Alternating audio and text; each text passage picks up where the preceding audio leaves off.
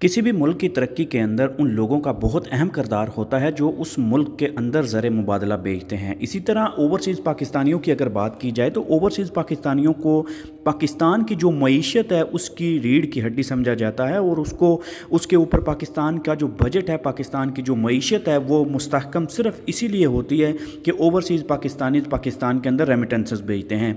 और ये जो नंबर मैं आपको आज बताने वाला हूँ, ओवरसीज़ पाकिस्तानियों का, जो कि पाकिस्तान के अंदर उन्होंने रेमिटेंसेस भेजे हैं ज़र मुबादला भेजा है, वो नंबर देख के आपको लगेगा कि पाकिस्तान के जो ओवरसीज़ पाकिस्तानी हैं, उनको कितना लगाव है अपने मुल्क के साथ कि कितनी बड़ी तादाद के अंदर लोग पाकिस्तान के अंदर पैसे भेजते हैं और इसके ऊपर जो मीशत है पाकिस्तान की, वो कितनी मुस्तकम हो जाती है जब हम लोग रेमिटेंसेस भेजते हैं।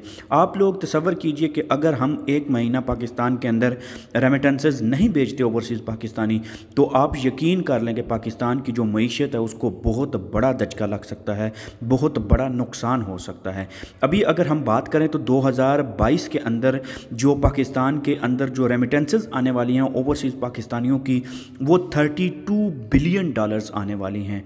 32 billion dollars is not a small amount अगर चाइना और पाकिस्तान की जो सी पैक है, उस मंसूबे की अगर बात की जाए तो चाइना ने पाकिस्तान के अंदर जो टोटल इन्वेस्टमेंट की थी, वो 45 बिलियन डॉलर्स की की थी। तकरीबन 50 बिलियन डॉलर आप लगा लीजिए। अगर 50 बिलियन डॉलर लगा के पाकिस्तान ने चाइना को अपना बिल्कुल करीबी दोस्त समझ लिया और पाकिस्तान और चाइना का जो ये मंसूबा है, इससे पाकिस्तान को आने वाले वक्त के अंदर बहुत ज़्यादा फ़ायदा होने वाला था और पाकिस्तान हो सकता है कि एक इम्पोर्ट एक्सपोर्ट का जो हब होता है, जैसे दुबई के अंदर पोर्ट्स हैं, उस तरह पाकिस्तान के अंदर गवादर बन जाता, जो कि चाइना और पाकिस्तान कॉरिडोर कहलाता है। अगर वो 50 बिलियन डॉलर की जो इन्वेस्टमेंट है, उससे पाकिस्तान कितनी ज़्यादा तरक्की करता है तो हम एक साल के अंदर जो ओवरसीज़ पाकिस्तानी हैं, वो पाकिस्तान के अंदर 32 बिलियन डॉलर की रेमिटेंसेज भेजते हैं। अभी जो 2022 का जो फिगर आ रहा है, उसके अंदर पाकिस्तान हो सकता है 32 बिलियन डॉलर पाकिस्तान के अंदर रेमिटेंस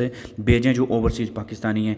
अगर हम 2021 की बात की जाए और जुलाई और दिसंबर के जो पीरियड के दौरानिए की बात की जाए तो उस दौरानिए के अंदर सिर्फ़ पाकिस्तान ने पंद्रह बिलियन डॉलर ओवरसीज़ पाकिस्तानियों ने पाकिस्तान के अंदर भेजे हैं, जो कि एक बहुत बड़ी तादाद है। अगर हम लोग यहाँ यू से अगर बात करें तो सबसे पहले जो रेमिटेंसेज भेजने वालों के अंदर आते हैं, वो आते हैं इंडियन क्योंकि इंडियंस की तादाद यहाँ यू के अंदर बहुत ज़्यादा है।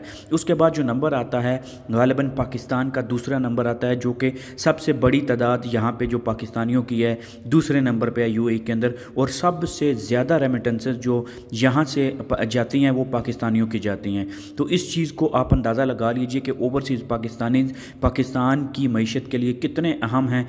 हमारे ओवरसीज़ पाकिस्तानियों पाकिस्तानी के बहुत सारे मसाइल हैं। हुकूमत को हमारे मसाइल का अजाला करना चाहिए, हमारे मसाइल के हल के लिए कोशिशें करनी चाहिए, जो कि सबसे बड़ा मसला है मोबाइल टैक्स के हवाले से। अभी कुछ लोग जो हमारे छुट्टी गए हैं पाकिस्तान के अंदर, उनको मोबाइल चलाने की भी इजाज़त नहीं दी जा रही, उनसे भी हैवी टैक्स लिए जा रहे हैं।